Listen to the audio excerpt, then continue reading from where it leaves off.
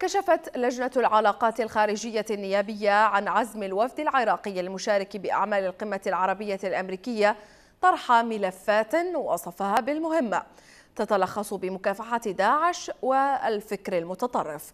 وقال عضو اللجنة عباس البياتي إن العراق سيطلب في قمة الرياض تعاونا عربيا وإقليميا وعالميا لاقتلاع جذور الإرهاب إضافة إلى التشجيع على إعمار المناطق التي دمرها تنظيم داعش والعمليات العسكرية. يشار إلى أن الرياض وتحت شعار الحزم يجمعنا ستستضيف ثلاث قمم عربية وإسلامية وأمريكية بمشاركة الرئيس دونالد ترامب.